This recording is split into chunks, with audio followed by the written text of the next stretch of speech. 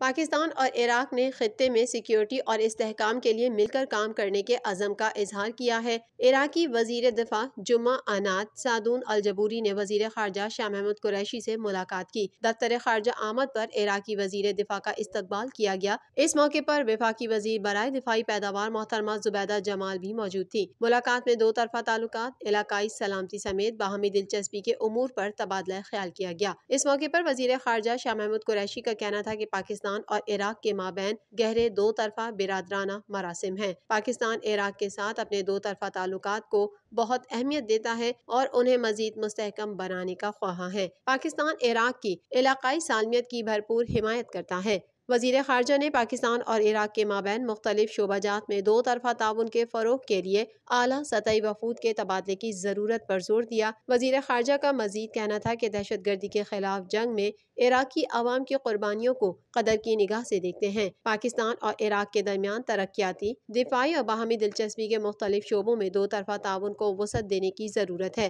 इस मौके पर दोनों रहनुमाओं ने खत्े में सिक्योरिटी और इसकाम के लिए मिलकर काम करने के अज़म का इजहार किया। इराक के वज़ीर दिफा ने खत्े में अमन और इसकाम के लिए पाकिस्तान की मुसलसल कोशिशों को सराहा।